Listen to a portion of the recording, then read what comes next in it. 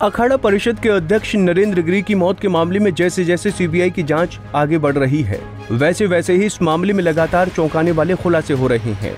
हालाँकि, स्थानीय लोग तो बागम्बरी मठ की करोड़ों की संपत्ति को ही नरेंद्र गिरी की मौत की वजह मानकर चल रहे हैं। दरअसल बागम्बरी गद्दी की संपत्ति प्रयागराज के अलावा दूसरे राज्यों में भी फैली हुई है, जिसकी कीमत लगभग हज़ार करोड़ से अधिक बताई जा रही है। प्रयागराज के रहने वाले मोहित मिश्रा और राधेश्याम शुक्ला की माने तो वो भी कई बार महाराज जी से मिल चुके हैं। उनका मानना है कि महंत नरेंद्र गिरी कभी भी सुसाइड नहीं कर सकते। करोड़ों की संपत्ति की वजह से ही महंत के खिलाफ कोई साजिश ज़रूर हुई होगी। महंत जी, आत्महत्या तो कर नहीं सकते हैं और इनकी मृत्यु संदिग्ध दिखती है, जैसे कि हम लोग पेपर में पढ़ते हैं। रोज़ाना और यहाँ पे प्रयागराज में हनुमान मंदिर है, वहाँ से महीने में पंद्रह से बीस लाख रुपए आते हैं।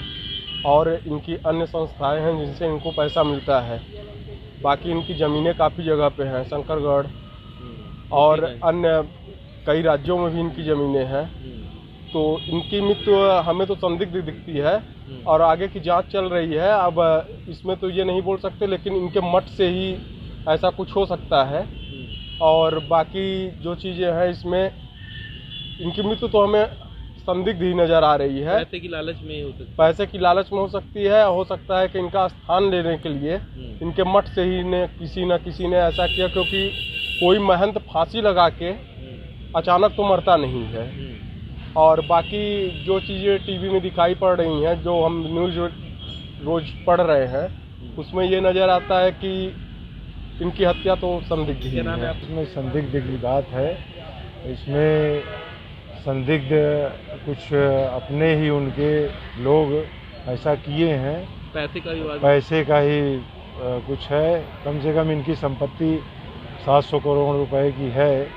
जैसे कि बड़े हनुमान जी हैं मठ ही कम से कम 200 करोड़ का है। हम्म, इनके साथ संदिग्ध कुछ हुई है।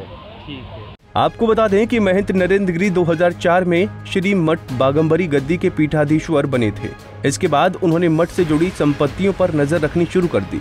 मठ की कुछ जमीनों को बेचकर भारद्वाजपुरम में भव्य भवन बनाया गया।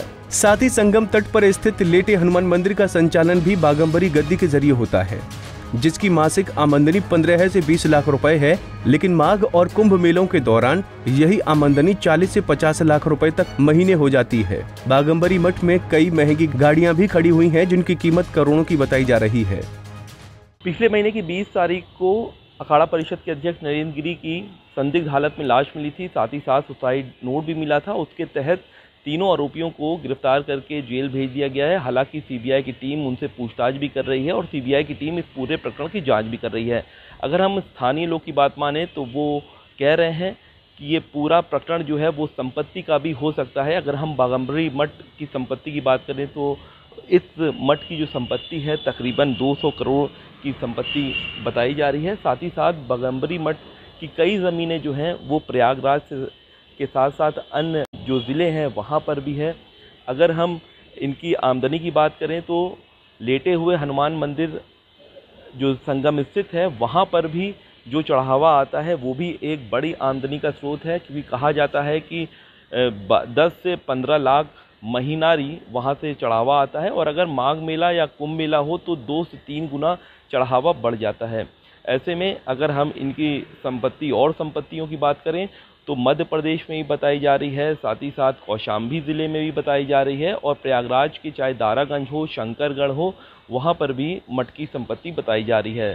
तो लोग ये भी क्यास लगा रहे हैं कि क्या पता कोई संपत्ति विवाद तो नहीं है, क्योंकि हर चीज़ महंत नरेंद्र गिरी महाराज जी करते थे और उन्हीं के ही निर्णय से ही सारी चीज़ जो है वो मटकी पूरी की जाती थी। अब ये एक तरीके से जाँच का विषय है। सीबीआई की टीम पूरी जाँच कर रही है और अब देखना दिलचस्प होगा कि जाँच में क्या निकल कर सामने आता है। वीडियो जर्नलिस्ट अंकित उपाध्याय के साथ सईद आखिर रजा, पंजाब केसरी टीवी, प्रयागराज। हमसे जुड़े रहने के लिए हमारे YouTube चैनल को सब्सक्राइब करें और नई वीडियो की नोटिफिकेशन के लिए बेल आइकॉन को दबाएँ। अगर आप ये वीडियो Facebook पर देख रहे हैं तो लाइक ज़रूर करें और ज़्यादा से ज़्यादा शेयर करें। धन्यवाद।